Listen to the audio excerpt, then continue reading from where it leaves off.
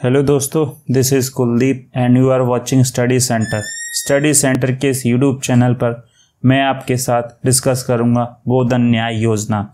इस योजना के तहत छत्तीसगढ़ गवर्नमेंट ने पशु मालिकों से गोबर खरीदेगी और गोबर के बदले में उनको पैसे प्रोवाइड कराएगी।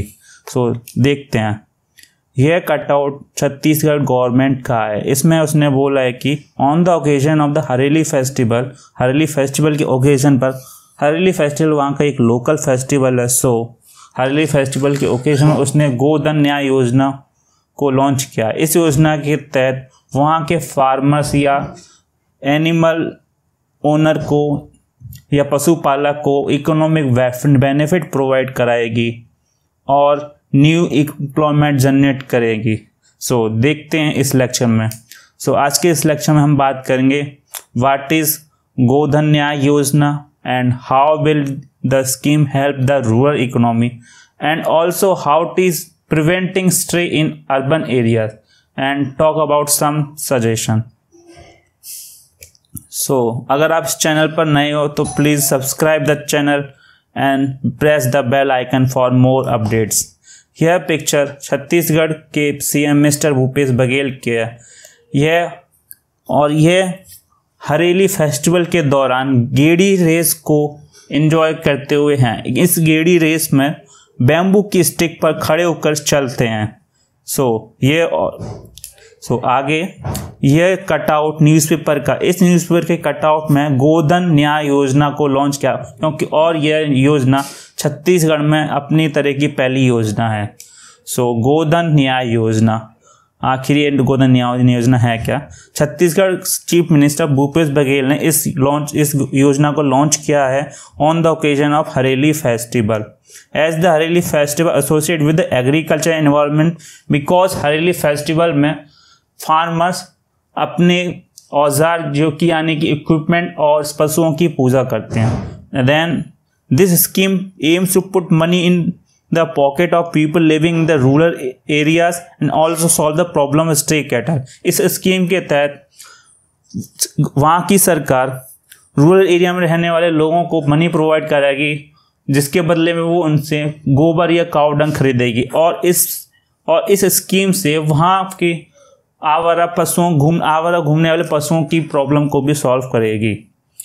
अंडर द गोधन गोधन न्याय योजना Chhattisgarh government purchase cow dung at the rate of two rupees per K G to rupees per K जी के हिसाब से गवर्नमेंट फार्मर से या एनिमल ओनर से काव डंग खरीदेगी। This scheme will turn the cow dung into profitable economy profitable commodity इस scheme के बाद वहाँ पर या उस गवर्नमेंट या वहाँ छत्तीसगढ़ में काव डंग एक प्रॉफिटेबल कमोडिटी कहलाएगा या यूज़ उसकी तरह यूज़ होगा।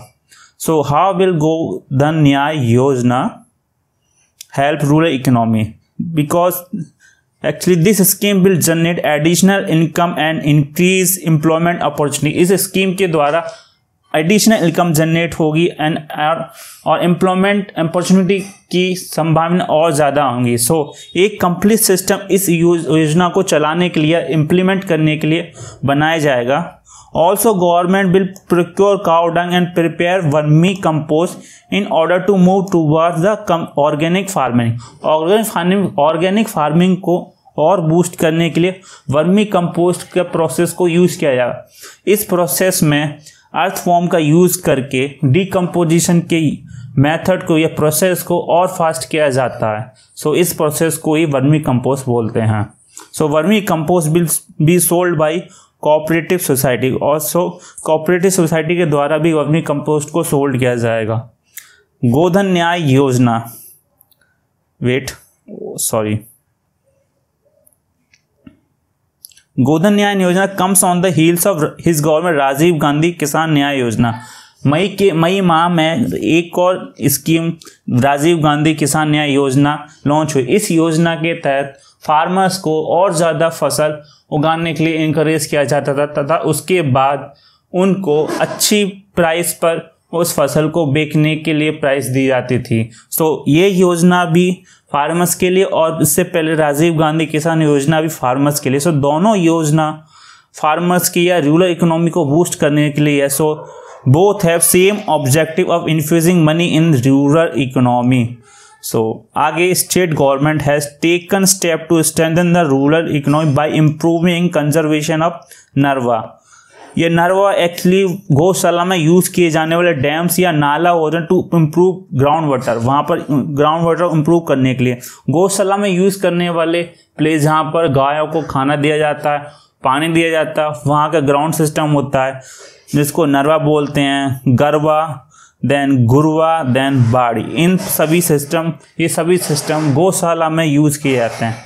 इस पिक में, इस पिक्चर में आपको क्लियर हो जाएगा कि इनको कैसे, ये कैसे हैं।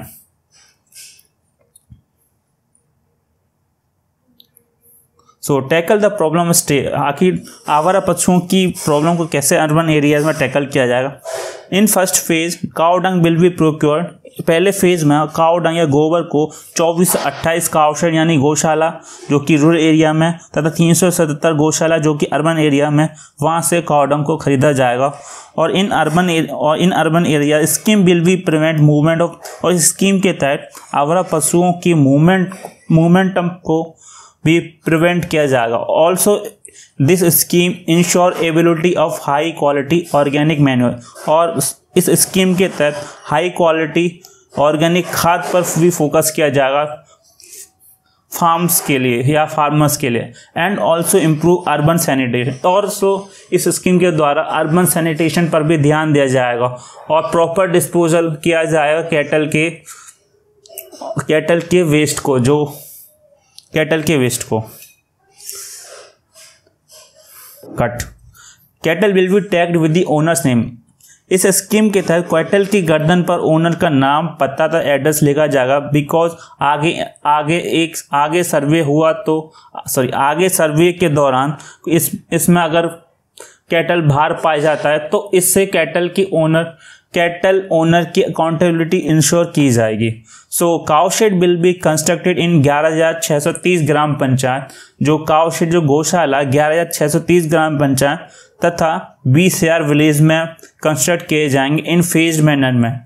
सो डिस्ट्रिक्ट कलेक्टर को district collector direct to earmark land तो डिस्ट्रिक्ट कलेक्टर गौशाला के लिए लैंड को मार्क करेगा। Also district collector provide ensure training for self help group self help group के लिए डिस्ट्रिक्ट कलेक्टर ट्रेनिंग प्रोवाइड कराएगा।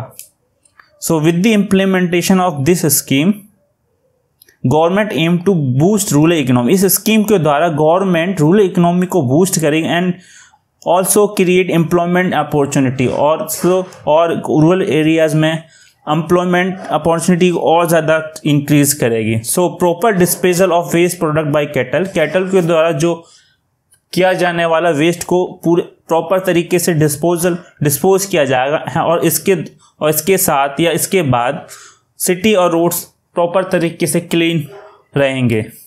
सो so, इस यू इस सो इस योजना को हरेली फेस्टिवल के दौरान या हरेली फेस्टिवल के ओकेजन पर लॉन्च किया गया था। सो so, हरेली फेस्टिवल में हमारे सिलेबस के लिए इम्पोर्टेंट हो जाता। है हरेली फेस्टिवल छत्तीसगढ़ का एक लोकल फेस्टिवल है जो कि अग्रेरियन फेस्टिवल है of Chhattisgarh.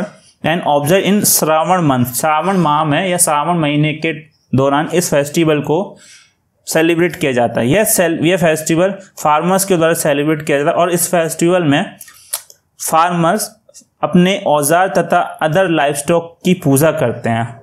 इस फेस्टिवल में बेम्बू की लकड़ियों के द्वारा चला जाता है और इस चलने या इस मूवमेंट को ही गेड़ी रेस बोलते हैं।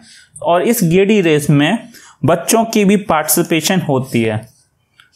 सो so, आज के लिए बस इतना ही। मिलते हैं अगले लेक्चर में। धन्यवाद।